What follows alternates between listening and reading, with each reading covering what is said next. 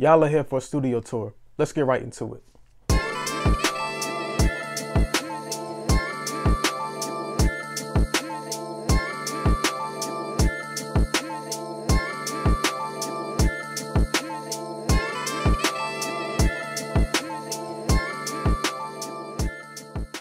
All right, y'all, what up? It's your man Chill Smith back with another tour of Chillville Studio, updated version. Let's get right into it. So this time I'm gonna start with I would say the the seating area. So before I had two of these seats and now I have a futon. Behind the futon I have some I have a LED lamp. I forget the the name brand of these. They're not Govee. I do have Govee um, behind the desk. We'll get to it, but these um I want to say it costs about $45 off Amazon. I'll leave a link in case you guys want to, you know, cop a pair. And up here I have a good vibes neon light. On to this acoustic treatment right here. This is made by GIK. They have different patterns, different colors. This um, wood piece is supposed to act as diffusion and then behind here is absorption so this piece of acoustic treatment I bought off Sweetwater I think it came in an eight piece. I'll show you the other pieces. It also included this in the kit. So this panel right here is custom. I forget the name of the company I got it from but it is four by six. And of course you know I got my man Nas up there my favorite rapper of all time. Above the desk I have this acoustic cloud. I have it to kind of like absorb the sounds on the ceiling of course that bounce off the desk. It's um it's it's it's uh kind of over the desk. It's mainly over me when I'm sitting down. I also have these panels to break up the sound that hits the ceiling. These are diffusers. Does it work? Is it doing anything?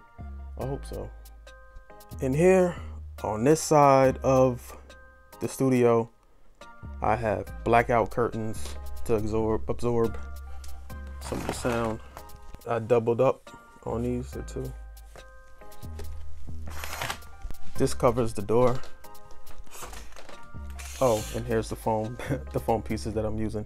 It's on the door, covered up. I just kind of just do it on there, just throw it on there, just for shits and giggles. But this is actually tripled up and on this side, I have two of these. And I have some hooks here, behind here, to hang up uh, like my coat when it's, uh, you know, when it's cold out. And I have this caution tape here for people who are tall. If you're above like six feet, yeah, you're gonna hit your head on it. I'm gonna start the gear section with the microphone that I use. This is an AKG C414 XL2 a little bit of a story behind this. I was actually looking at the TLM by Neumann, uh, which is, you know, it's around the same price. The the TLM 103 I was looking at. And I was I was heavily considering it, but it did not come with a shock mount, which deterred me from getting it. Because if I'm paying that much, just throw me a, a shock mount. Like this is a plastic shock mount. Does the job. And I just recently um, kind of switched to this type of pop filter because um the cloth one like absorbed a lot of smells and it wasn't as easy to clean as this. This one's way easier to clean and so you know I switched to this. I also upgraded my mic stand. This is by I'm gonna say framework. It's um it's more sturdier than the one I had before. Here I have a Pod Mic by Rode. That's the name of it, Pod Mic. And I have a Fethead on here to boost the signal. So for the cost of this this mic, around $100, does the job, sounds good to me. Um, this thing is heavy. Like if you hit somebody with this, KO, solid mic. It, feel, it feels more expensive than what it is. But if you do get this mic, I highly suggest getting this Fethead. They also have um a cloud lifter, but I didn't like how the cloud lifter looked. I like how this looks more, it's like more streamlined, uh, less noticeable, and um, it gets the job done. Because without this, I had like the preamp blasting. Like it was really high. Uh, probably at like 85, 90% to get like a good signal out of it. So yeah, highly suggest getting the Fethead. If you like what you're seeing, please like the video and subscribe. And it's also connected to this Rode boom arm. This is the first and only boom arm like this that I've owned. I've wanted one of these for like a long time. Um, so I, I don't really have anything to compare it to, but it it's where I put it, it stays. It doesn't. It's pretty solid to me. I have I have no complaints about it. Also, you know, I do podcasts every Friday night. Awesome talk. Check us out. I'm gonna put a link in the description. I have this LED. I guess you'd call this a, a fill light. Also use this, you know, when I'm doing the podcast. It's connected to a mic stand and uh, you know, rechargeable battery. Oh, it's on there. So rechargeable batteries there you know, I'll hit the button, let you see how it works. Yeah, so you can adjust this bright. It's a very inexpensive um, LED actually, and then um, you know, it does what I need it to do. This Logitech is what I use for podcasts. Like I said, check us out. Awesome Talk every Friday night at 9:30. You know what I mean? I'm gonna leave a link Friday nights, 9:30 on Twitch. Shit. So let's get to the juicy stuff. On the left side of my rack, I have a power conditioner by Furman. This is the Furman M80X. Under that, I have a compressor by DBX. This is DBX 160A. I only really record vocals and this gets the job done.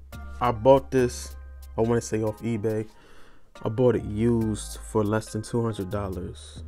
And under the DBX, I have a preamp by Warm Audio. This is the Warm Audio WA73. This is a clone of a Neve preamp that is uh you know it's very expensive. It's in the thousands of dollars. And this i want to say costs between 600 and 800 dollars. I've seen this in professional studios so hey you know what i mean? If the super pros are using it it must be good.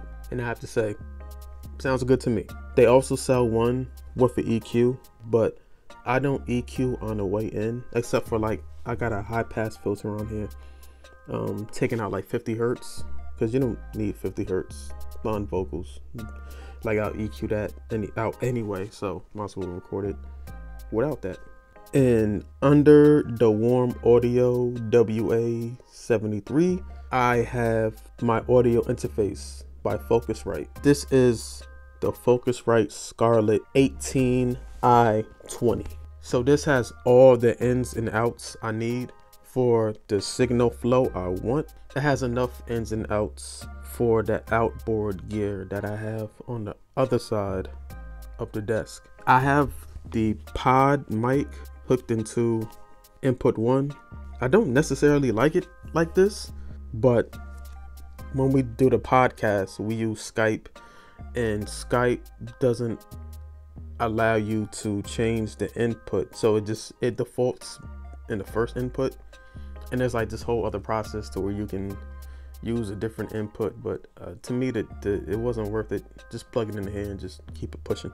Further down the line, I do plan on replacing this Scarlett interface with the Apollo. Is it necessary for me to do it? Not really, because this does everything that I need it to do.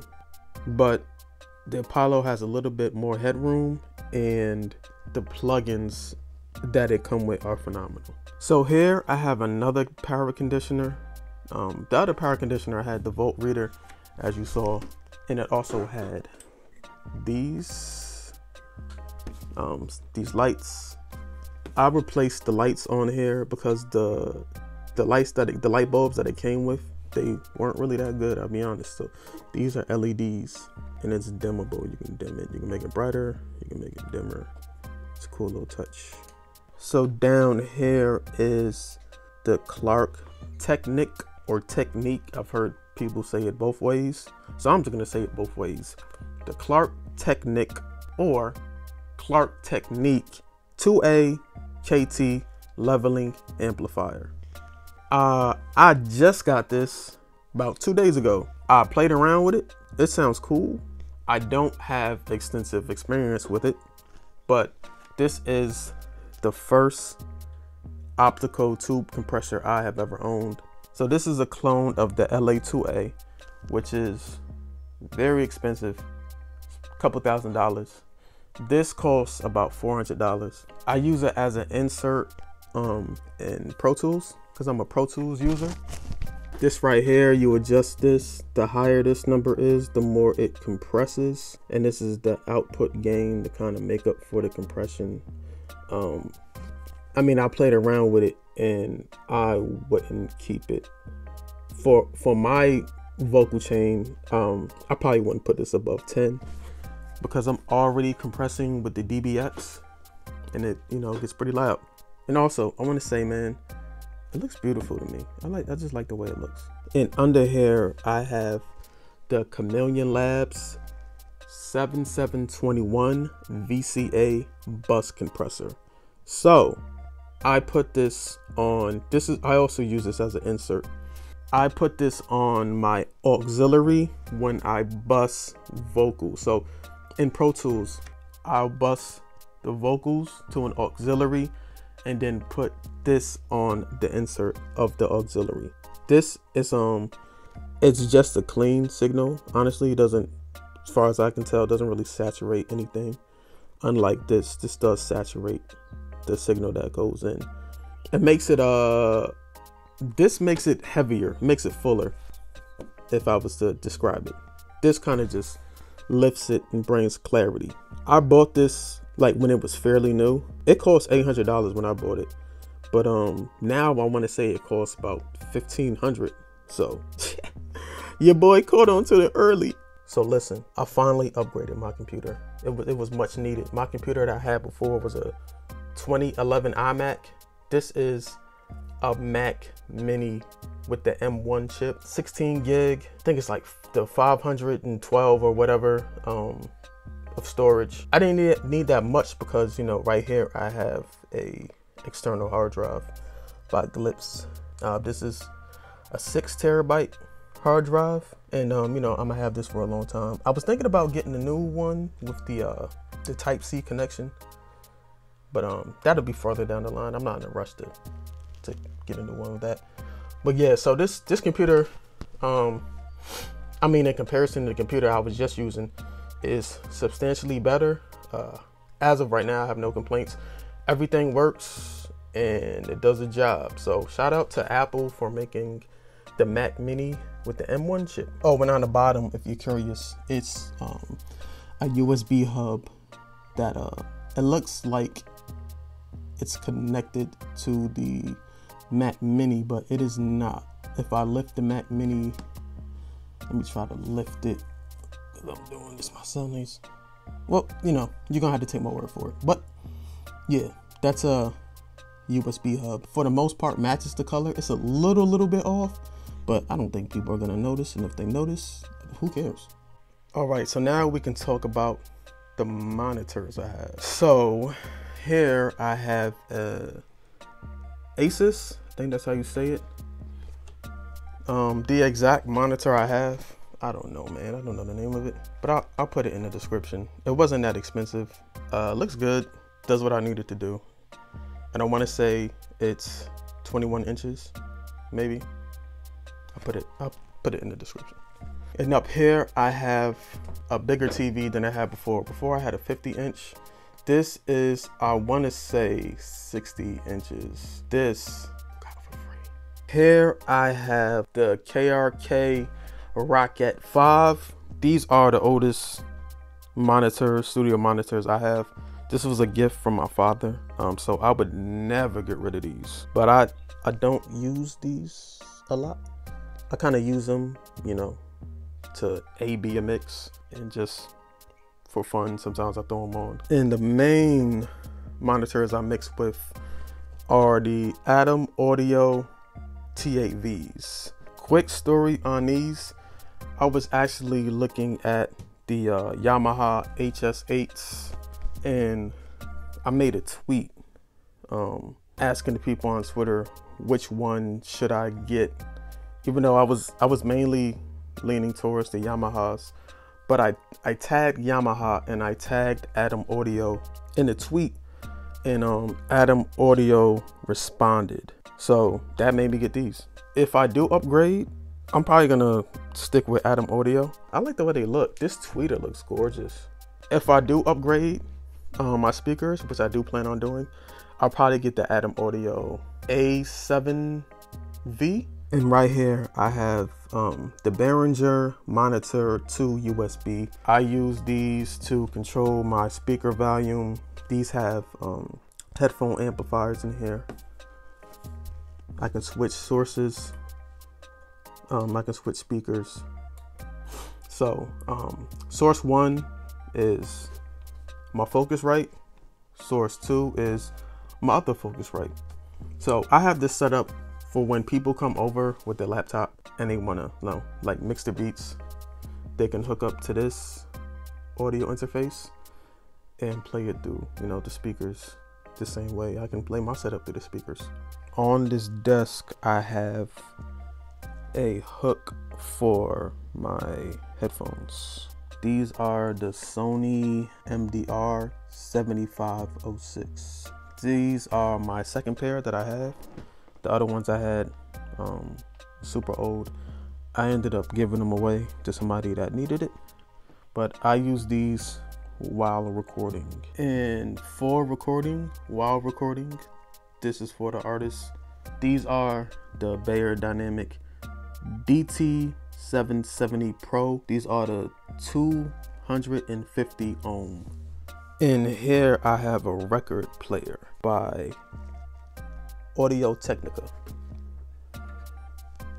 It's a great investment if you're into sampling hip hop with records. I do want to warn people that are interested in this record player.